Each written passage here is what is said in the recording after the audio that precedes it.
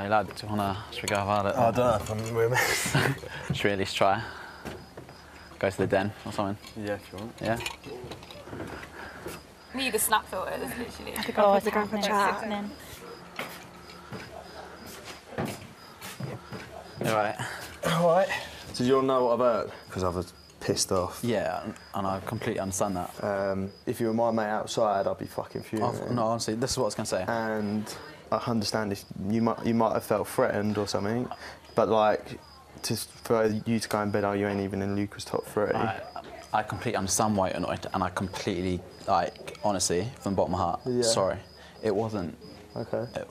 I honestly didn't even mean. I wasn't even thinking straight. Like, honestly, I swear to God, it wasn't to try and I know, like. a a mistake, mate, is like spilling fucking apple juice on my trousers or something. At the end of the day, mate, I can have a conversation, you uh, leave Yeah. it, I can either think you're a prick or I can, yeah. we can become mates. Yeah. But for Tasha, she was actually upset. Yeah. I still feel like you should never fuck a girl's emotions. Like, I was, I was, that was never my I intention. know, I know. You've all. kind of. It sounds like you've kind of just said it. And thought, I've said, oh, I've gone with it now.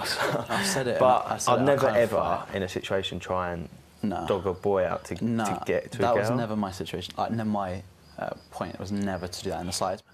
It was just an honest. It was an honest mistake, and, and I would never, ever, in any way, shape, or form, want to ever jeopardize uh, anyone's like chances with any other girl. So yeah, like especially my guys, like my mates, like that's so important to me. Like I would never ever do that, ever on purpose. it's done and I'm kind of in this situation we need to forget it Yeah. and move on and just get back to how we were. Yeah, definitely, mate. Most important thing for me, like, I generally like want our friendship to go back because that's I yeah. honestly I care about that more Yeah. than anything. We don't know how long we're going to be in here with one another, and my most important thing is for everyone in the villa not to feel awkward. I'm a lover, not a fighter, and as long as I, he, he listened to what I said, then I'm happy.